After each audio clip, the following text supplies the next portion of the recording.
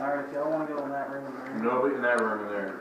okay, yeah, okay. We're gonna kinda, we have people in every room, we're out here, so we'll just kinda do it for about fifteen minutes and then we'll switch around and just kinda find your spot and just kinda sit quiet. Yeah, I'll go over here on the bed.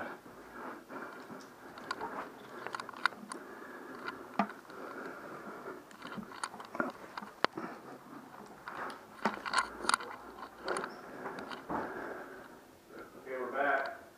Earlier today, we were sitting right here, this light was going off, and we were making, we were asking it to go off, and you did it. That was cool. I'd like to see you do it again. There you go. You got, you gotta make it go all the way to where, where it lights up to the red color. Not just a little bit. You need to really get near that thing and light it up. Come on.